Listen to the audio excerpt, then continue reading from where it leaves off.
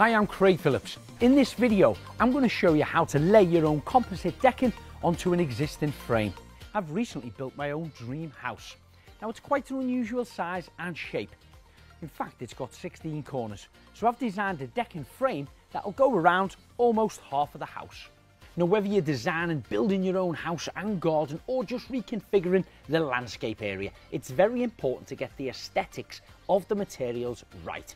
Now, I've got this lovely dark red brickwork here with a terracotta mortar in between. Right next to that, we've got the large aluminium bifold windows, which is an anthracite grey. And then of course, we've got the large planes of glass here, which is going to reflect what I put down on the surface. Now I've chose the composite decking boards with this lovely wood grain effect, which I believe will complement the rest of the materials on this house. Now, great thing about the composite decking is it looks so affected, it can be mistaken for real wood. It's got this lovely grain effect here. However, it's universal. The opposite side of it has the routed out grooves in there for the non-slip tread. So it's your choice which side you can actually lay. The lengths themselves come in 3.66 meters in length.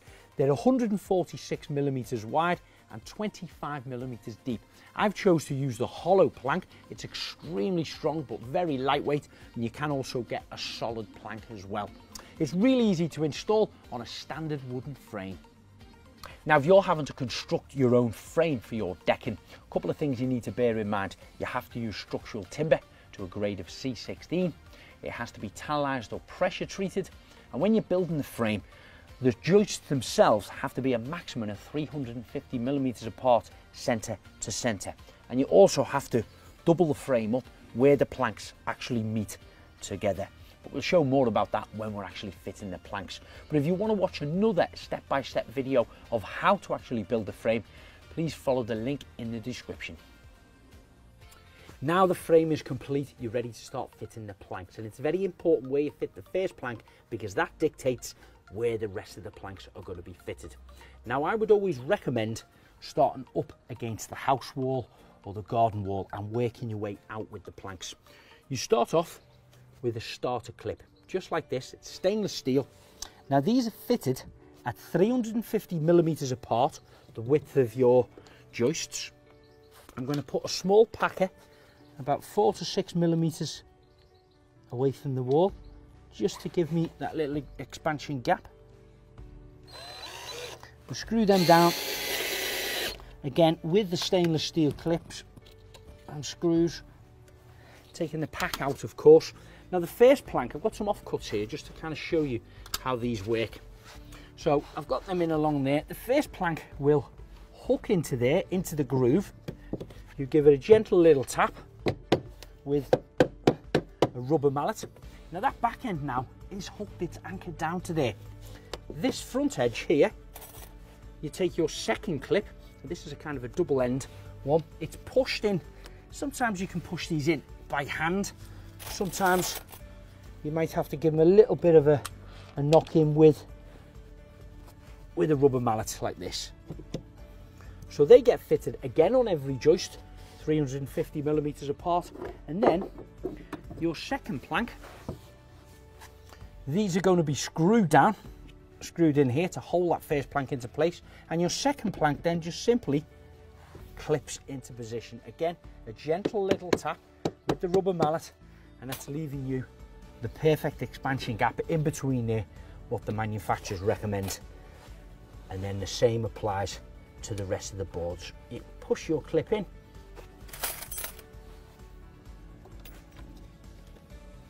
gentle knock if they need it and then the third plank will be in position. Screwed down again of course and then that is in like this. But these are only offcuts so I'm going to start off with my full face length into position. I've got all my starter clips in all the way along the ledger beam. If you're a little bit unsure that your wall may not be quite straight you can run a string line across them all the way through, just making sure that they're all in line. This plank is going to start right on the end of my fence, all the way along to here, pushing it in, making sure all my clips are fixed down and my packers are out the way. gently tapping that in with the rubber mallet. Perfect. Now Can start to put my clips into position on every joist.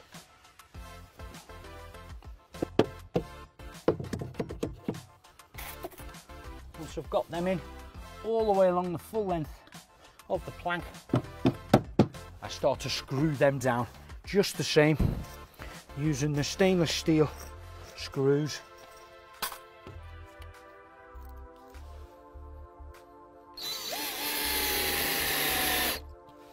as you can see that plank now is down solid you've got the hooks on the back the starter clips holding it down and then you've got this holding it down there so again we continue screwing that along every clip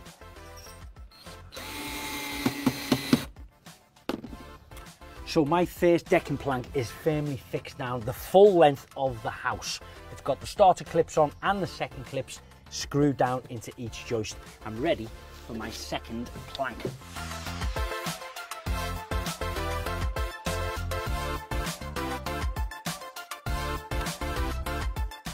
So that's my second plank firmly fixed down with the brackets along the full length of the building. It's ready for the third plank. Now, if you've got a job as big as my one, it's always best to get an extra helping hand. John, another plank. Thank you. Now, cutting the individual planks is relatively easy. You can use a handsaw, but of course, if you've got hundreds of planks to fit, it's going to be a lot quicker by using some form of table saw, sliding saw or a chop saw. But don't forget to use your dust mask and safety specs.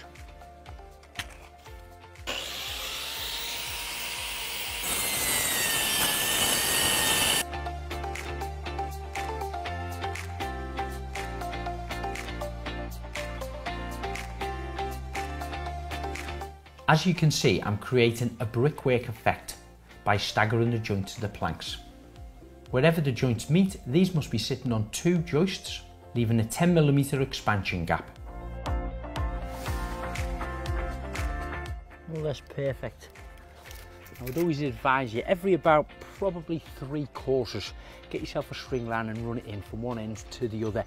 You can find that you've got a fraction of a pull just between them, especially in this warm weather, the boards tend to expand and detract. So always, every three boards I run them in.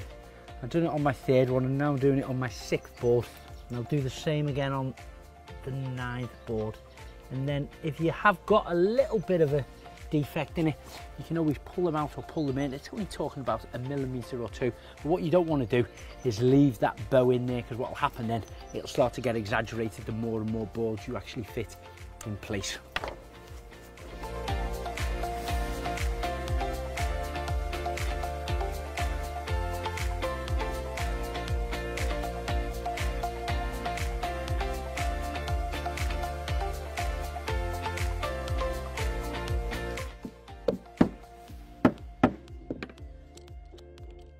So now we've got about six planks in here. We're just putting the seventh plank along. It's becoming a lot easier and quicker to work because of course I'm working on the platform. But when you're working actually off the frame, it can be a little bit tricky. I'd always advise good knee pads in there when you're actually working on there. But now we've got our boards in place, I can use these as a working platform and work along.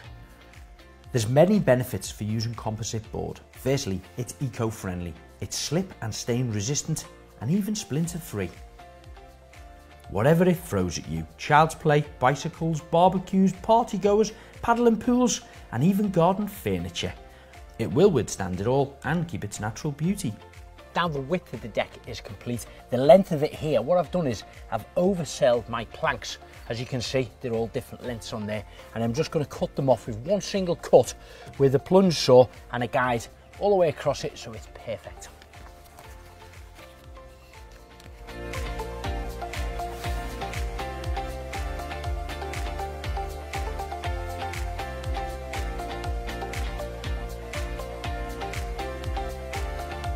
Now you quite often come across obstacles in the way that you're going to have to cut around them. For instance, downspouts, you know, on the corner of the building, it may go around a grid, it has to be cut out. Manholes, inspection chambers, all have to be cut around with the decking planks. And of course, you've got posts, your fence posts here. So simply just mark them up, scribe around them, and then you can cut them either with a handsaw if they're squared and straight cuts, or if they're curved, you're going to have to use a jigsaw. I prefer to use a jigsaw. It's always a lot quicker and easier.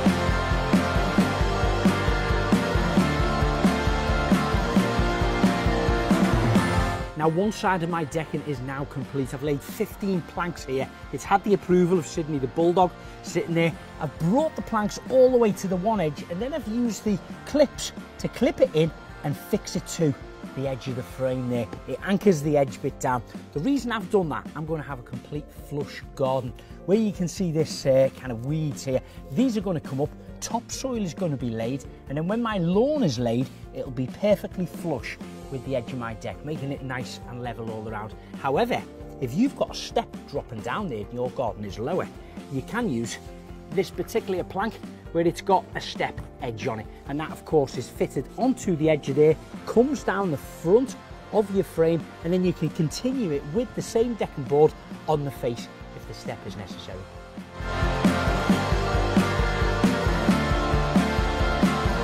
Composite decking is made from a mixture of recycled wood and high density polyurethane.